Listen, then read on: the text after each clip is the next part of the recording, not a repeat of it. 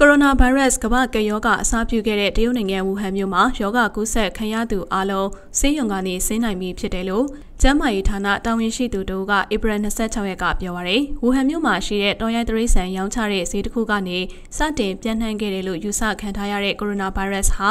ပြီးခဲ့တဲ့ဒဇမလလောက်မှာပထမဆုံးအကြိမ်ထွက်ပေါ်လာပြီးတဲ့နောက်တကမ္ဘာလုံးကိုလင်းလင်းမြန်မြန်ကူးစက်ပြန့်နှံ့သွားခဲ့တာဖြစ်ပါတယ်။ လက်တလုံးမှာတော့ကမ္ဘာပေါ်မှာကိုရိုနာဗိုင်းရပ်စ်ကူးစက်ခံရသူ3သန်းနီးပါးရှိနေပြီးသေဆုံးသူ2သိန်းကျော်ရှိနေတယ်လို့သိရပါတယ်။နောက်ဆုံးရရှိတဲ့သတင်းတွေအရဧပြီလ26ရက်နေ့မှာဝူဟန်မြို့အတွင်းကိုရိုနာဗိုင်းရပ်စ်ကူးစက်ခံရတဲ့လူနာလုံးဝမရှိတော့ပါဘူး။ဒါဟာဝူဟန်မြို့နဲ့တနိုင်ငံလုံးကကျန်းမာရေးဝန်ထမ်းတွေရဲ့ပူးပေါင်းအားထုတ်မှုတွေကြောင့်ဖြစ်တယ်လို့အမျိုးသားကျန်းမာရေးကော်မရှင်ပြောရေးဆိုခွင့်ရှိသူမီဖန်ကသတင်းစာရှင်းလင်းပွဲမှာပြောပါရယ်။ ဝူဟန်မြို့ဟာတနိုင်ငံလုံးမှာယောဂဖြစ်ပွားမှုရဲ့56ရာခိုင်နှုန်းအထိရှိနေပြီးကူးစက်ခံရသူပေါင်း4600ကျော်ရှိခဲ့က